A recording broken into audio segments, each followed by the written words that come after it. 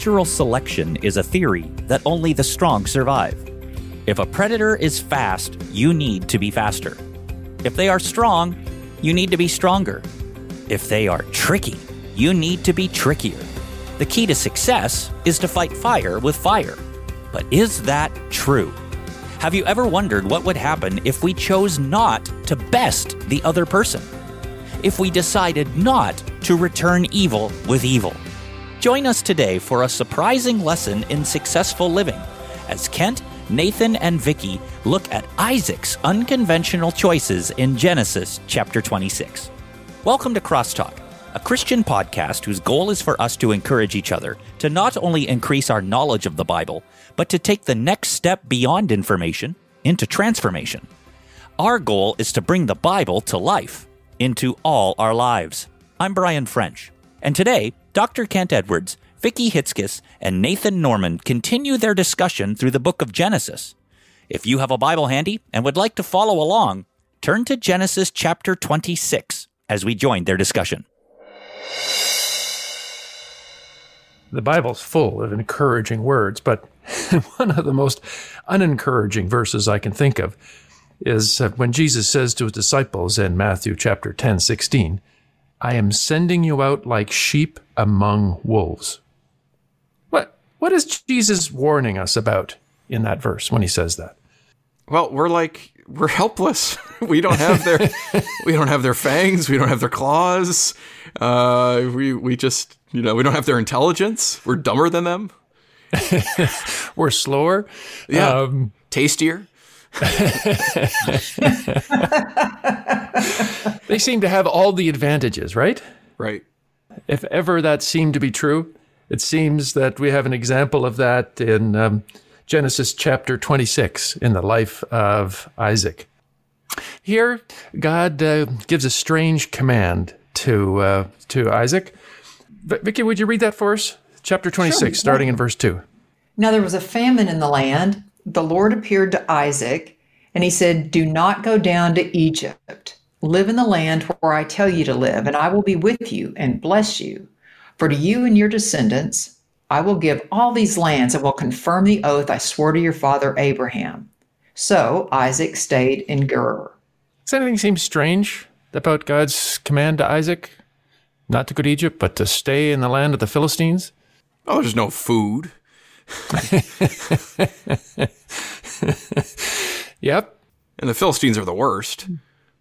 Well, they're not good neighbors, right? No.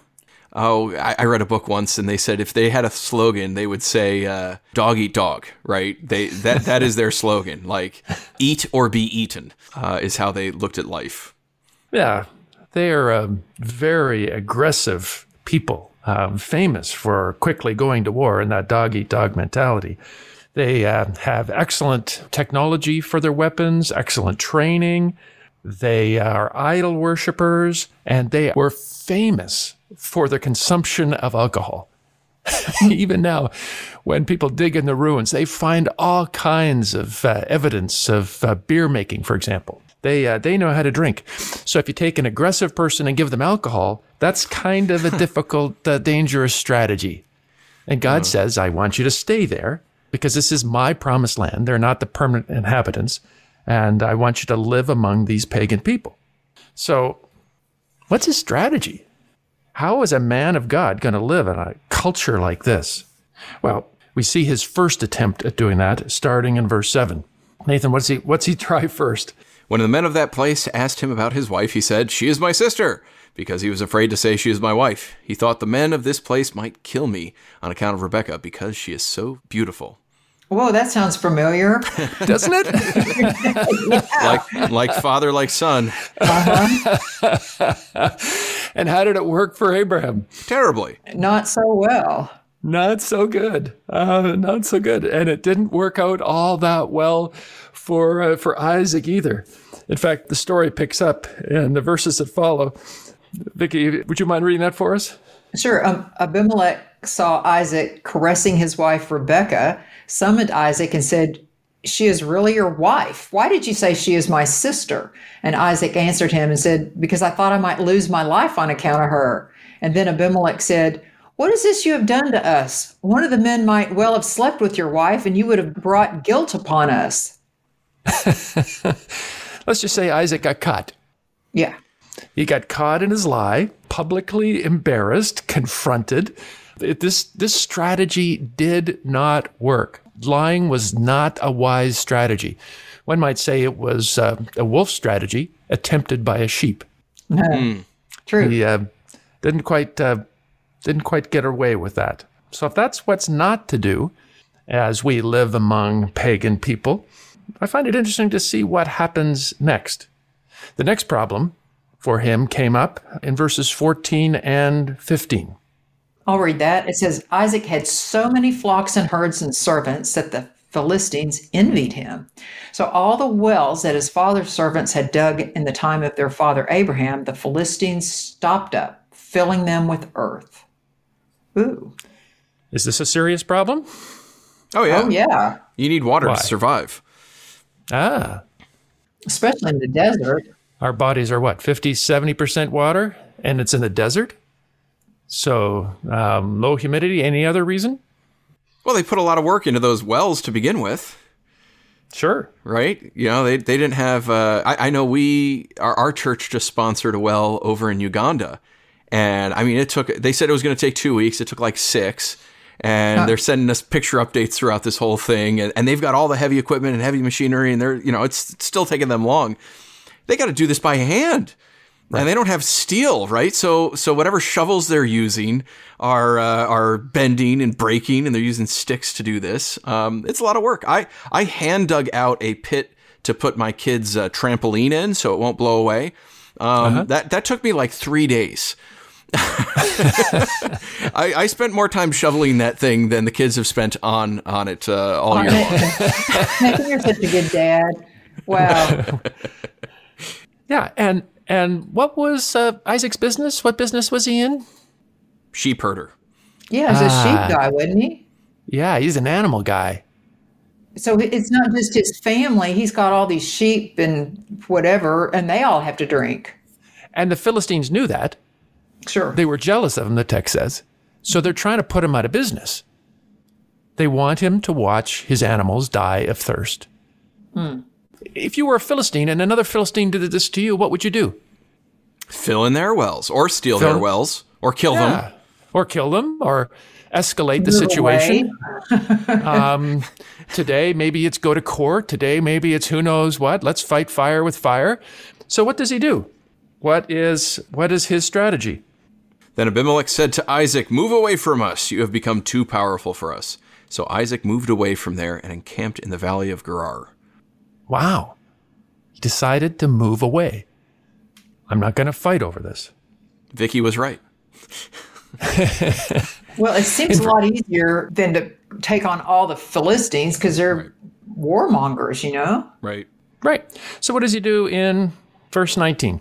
Well, it says Isaac's servants dug in the valley and discovered a well of fresh water there. But the herders of Gerar quarreled with those of Isaac and said, The water is ours. Uh, you know, can't blame him for that. And so they dug another well, but they quarreled over that one also. So he moved on from there and dug another well, and no one quarreled over it, saying, Now the Lord has given us room and we will flourish in the land. Wow. So, they fill in his well. He moves away, digs another one. They steal that one. He moves away and digs another one. What? What is the strategy here? I mean, I, I- Nathan's right. I mean, you've got to dig down a long way to find water in the desert. Nathan, you're talking about a trampoline pit. Um, some dug wells are as deep as 200 feet deep. Yeah. Oh, Yep. wow. So they have to be shored up on the sides with stone or wood. They've got to be big enough for at least two guys to uh, to be digging all the time. One guy can't do it. Can't do that alone.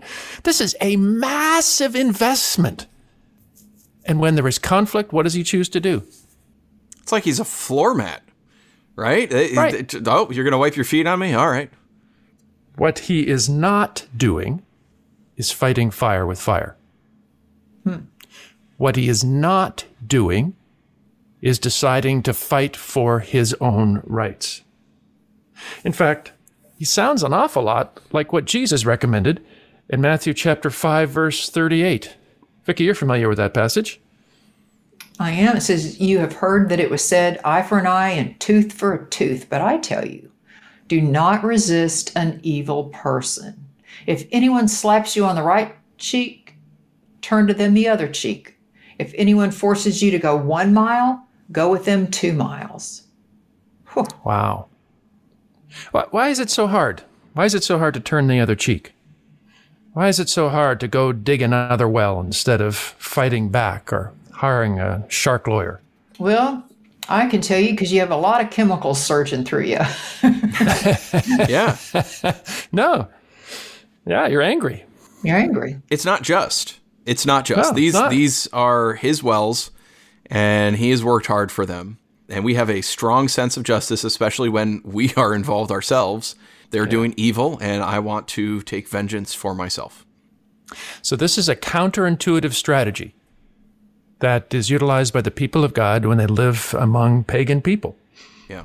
Have you seen Christians take this approach, turn the other cheek? And if you have, what results? I'm in the process of selling my home, and in the contract from the buyers, they told me I could stay here for X number of dollars, and they they wanted me to put down a fifteen hundred dollar deposit, which just ticked me off. Oh, I was so mad. I remember my realtor told me that. Oh, I was so mad. I said, I've been working for months to get this place perfect, and they think I'm going to treat it like a rock star the last three days I'm here. I was just, oh, I was so mad. And my realtor said, Vicki, Vicki, calm down, calm down. I'm sure we can get that taken out. But he said, We've got lots of battles ahead. Are you sure you want to fight this one? Mm. So I calmed down and and not only calmed down, but I decided because I really do like the buyers. I, I've met them. I thought, you know what? I'm going to write them a letter and welcome them. They've lost four houses in a row and then they got mine. And so I wrote them a letter and said, I hope you're as happy here as I've been. Welcome. I'm glad you got the house. And here's why I've liked it. And I hope you like it for all those reasons and more. Well, I heard from their realtor when they got my letter, they broke down and they cried. And after that, we not only were closer, but there were no battles between us. They gave me, I wow. gave them. We've wow. been wonderful friends ever since. Mm. And I found out this is important too. I told them later, I said, Oh, it made me so mad when you put that in there. And they said, We didn't put that in there. And I pointed to their realtor and they said, That was his idea. and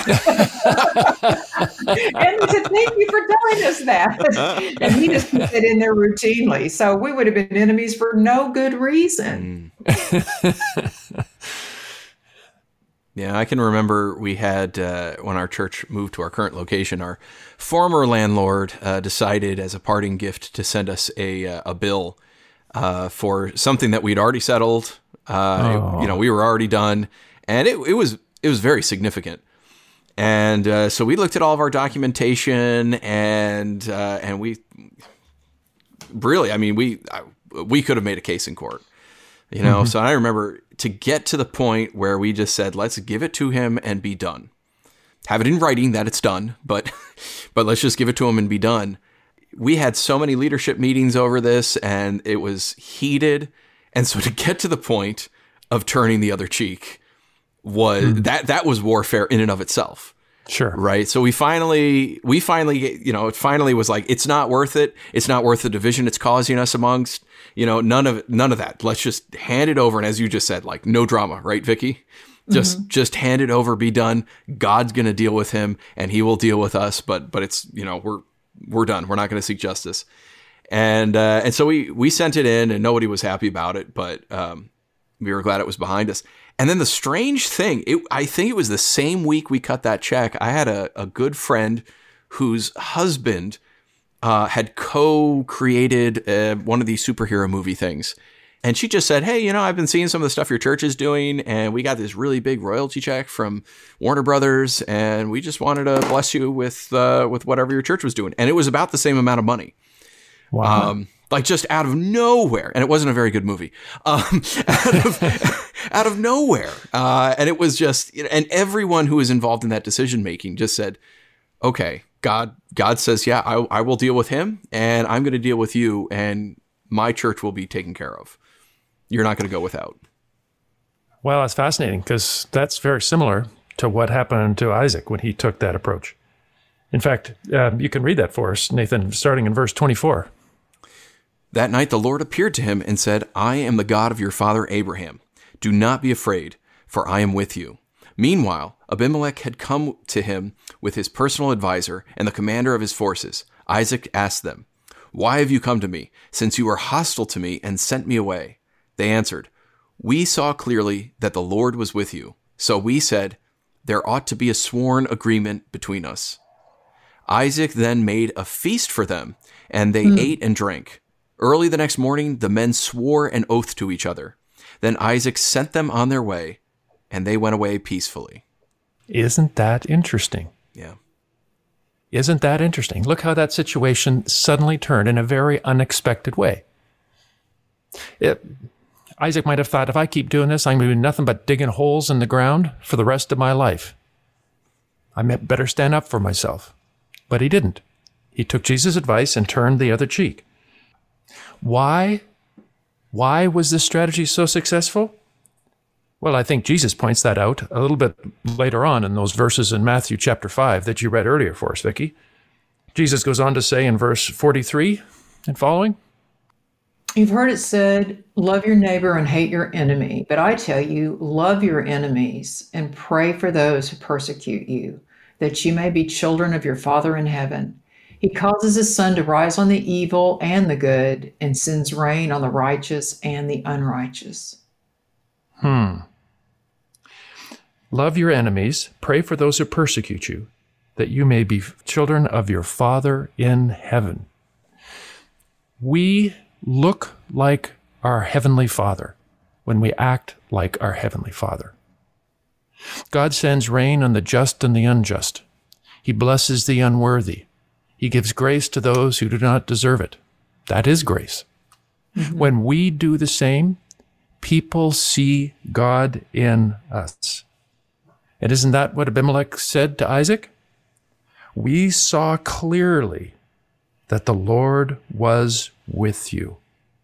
We saw God in you. Mm. I think nothing demonstrates Christ's work in our life more than to respond to evil as Christ did on the cross. He didn't say, Father, kill them all for what they're doing. He says, Father, forgive them. Can we do that? Look, today, many of our listeners, we ourselves, may be legitimately frustrated and angry at someone a coworker, a neighbor, teacher, relative. How will you respond? Revenge? Or will you help them see God in your actions as you forgive them as God has forgiven you? It's said revenge is a dish best served cold. But that's not what Jesus or the Bible teaches us in this passage. It says instead, don't use the weapons of this world. Revenge is a dish best never served at all. Hmm. It's almost like instead of fight fire with fire, maybe fight fire with water. That's right. Hmm. I wonder if that's what Paul is saying in Romans chapter 12.